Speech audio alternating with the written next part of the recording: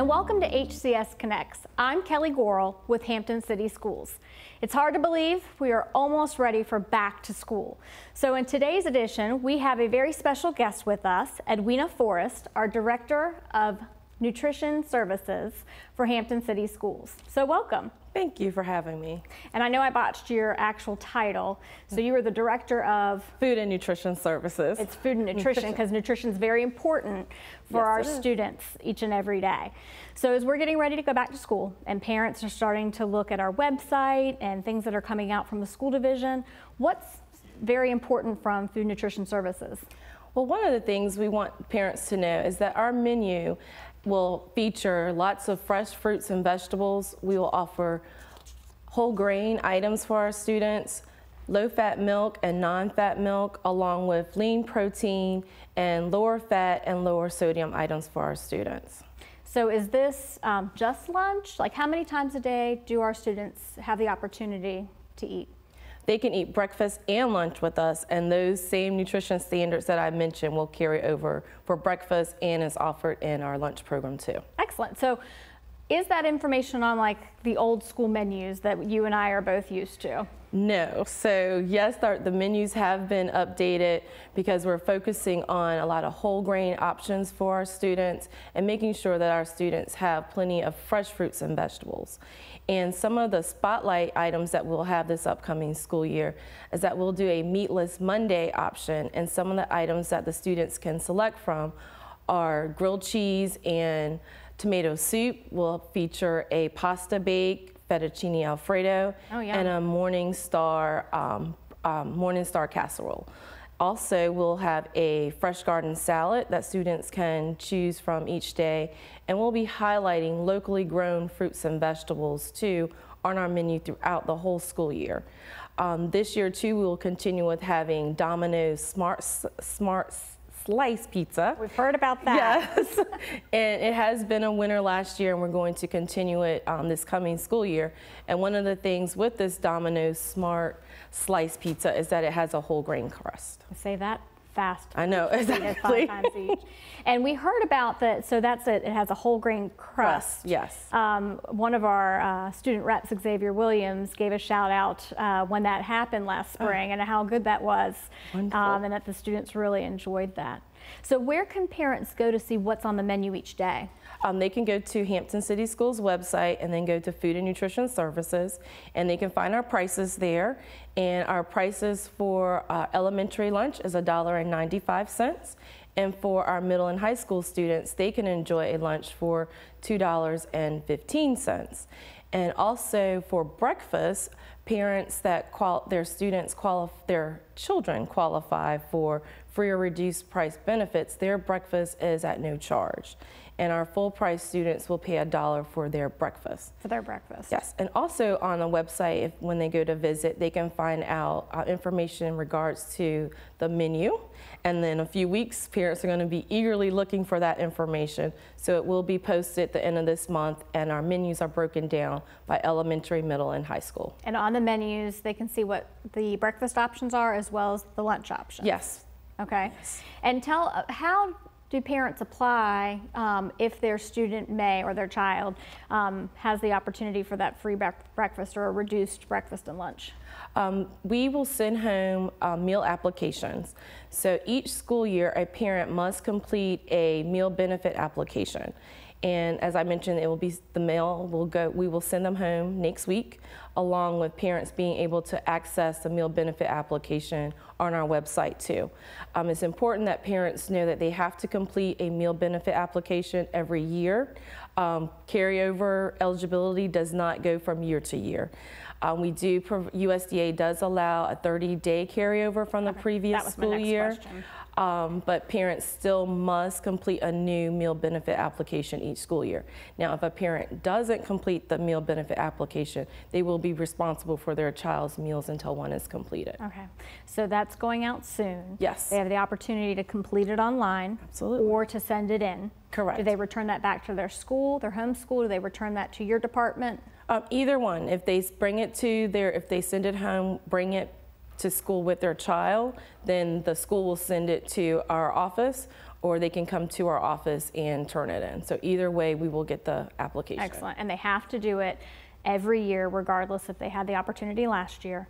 Um, and then you also said, you know, day one, we highly encourage Yes. that paperwork to be completed before, Before school, school, starts, um, just to make sure that we've got all those I's dotted and T's crossed and everything's ready to go for their child.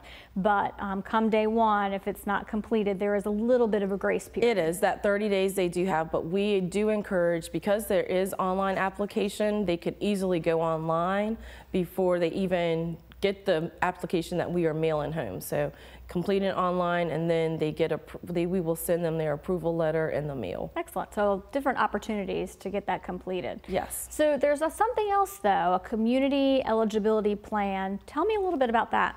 Yes, we have 14 schools that are on the community eligibility program, and students that are enrolled in any of our or these 14 schools, they will receive a free breakfast or and or a free lunch at no charge.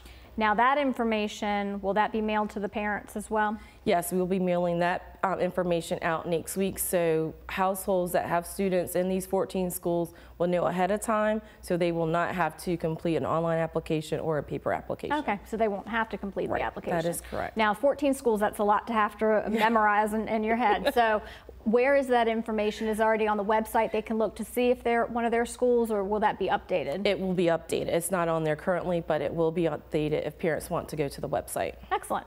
So there's different opportunities, the community eligibility, you've got um, the free and reduced lunch process. We know that we can go and look online for the upcoming menus, and there are different prices for lunch and for breakfast. for breakfast. Um, very reasonable. I need to start coming to school, one of the schools nearby, and, and purchasing my own lunch.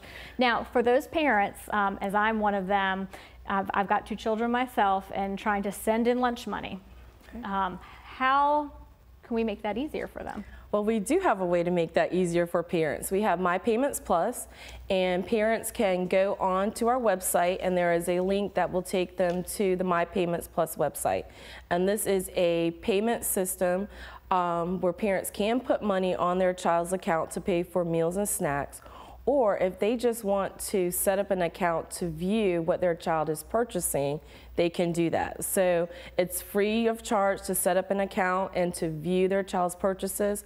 But if they want to put money on their account so their child can buy um, meals and snacks, they can do so. And there's a small fee that's assessed to that. So the you said meals and snacks. Do they have to set that up separately, or is it just on one account and the and the child can choose what they want as far as meal or snack? Um, the parents can determine that. Um, Okay.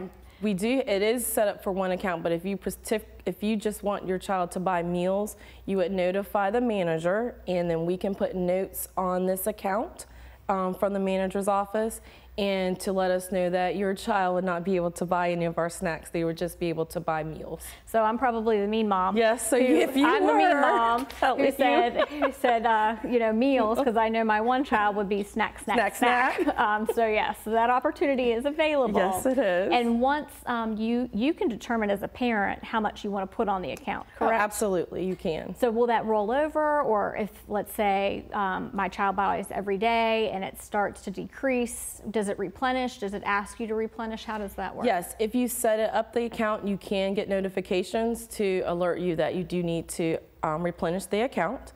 Um, so parents are aware that the account is getting low.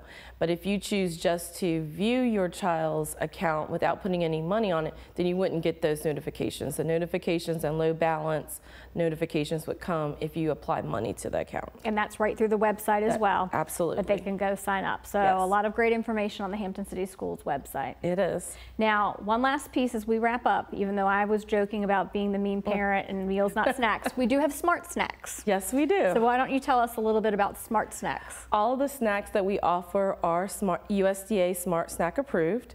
And a smart snack means that it's either whole grain, that it is, um, it provides 10% of the daily value of calcium, fiber, potassium, or vitamin D, or the first ingredient is either fruit, vegetable, or dairy or protein.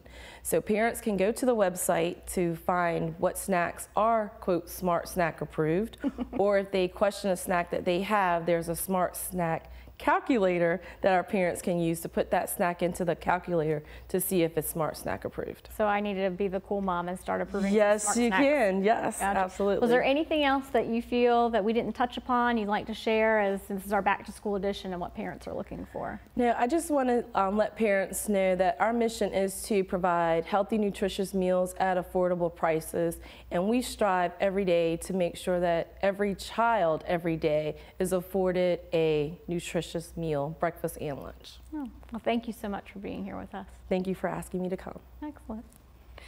And thank you for joining us on HCS Connects. In the meantime, stay connected with us through Facebook, Twitter, Instagram, our YouTube channel, or our PEG TV station. Thanks and have a great day.